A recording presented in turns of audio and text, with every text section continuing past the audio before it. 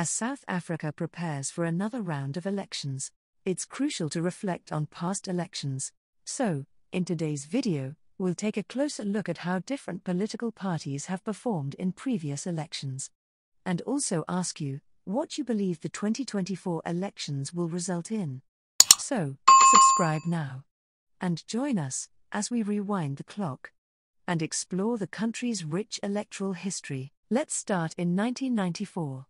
This is when South Africa held its first democratic elections, marking a historic moment in the nation's history. This election saw the end of apartheid and the birth of democracy. The African National Congress, led by the then party president, Nelson Mandela, emerged victorious, winning the national results by over 62%.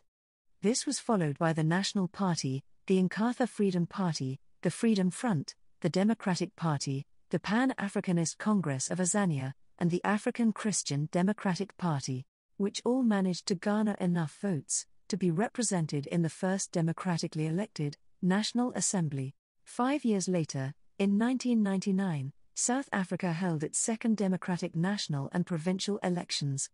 The ANC maintained its dominance and managed to improve its majority to over 66%. However, the political landscape was evolving the Democratic Party improved its performance and became the official opposition in the National Assembly, as well as the official opposition in a number of provincial legislatures. We also saw the emergence of new political parties. The 2004 national and provincial elections marked another crucial turning point in South Africa's political landscape. The ANC secured yet another victory, maintaining its position as the governing party. While the newly rebranded, the Democratic Alliance, the DA, retained its position as the official opposition. Followed by the IFP, the UDM, and several other parties. Fast forward to 2009. South Africa was once again at the polls. The ANC secured yet another victory. However, it was clear that the political landscape in the country was shifting.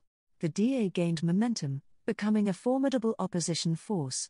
However, this election marked the emergence of new players on the political stage, such as the Congress of the People, also known as COPE, which was a breakaway faction from the ANC. During the 2014 national and provincial elections, we witnessed yet another shift in dynamics. While the ANC retained its majority, its support was, however, declining.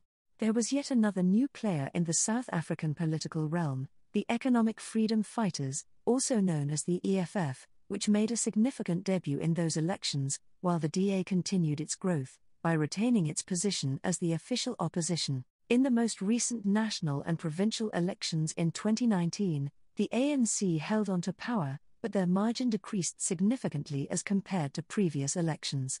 The DA, while maintaining its position in the National Assembly, also experienced a slight decline. However, the EFF continued to gain ground. Now that we've seen how different parties performed in the past, let's now turn our attention to the future.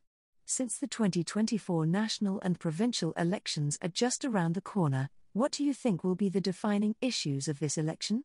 Will the ANC maintain its grip on power? Or will we see a significant shift in political dynamics? Share your predictions and views in the comments section below. As we wrap up today's video, we want to remind you that your voice matters and that your vote counts. So, make sure you're registered to vote. And also make sure that you stay informed about the different political parties and their stance on various issues. And most importantly, participate in the democratic process. Don't forget to like this video and share it with your friends and family. Also, make sure you subscribe to our channel for more insightful content. Remember to also leave us a comment with your views. Your engagement matters. Thank you for watching. Please take time to check out our other videos on public administration under this channel. We cover various topics relating to public administration and public finance, as well as the management of the public sector, including the running of government and other global institutions affecting the public sector. You can also connect with us by following us on social media at Consult Kano and continue the conversation by leaving us a comment below or tagging us on social media using the hashtag ConsultKano.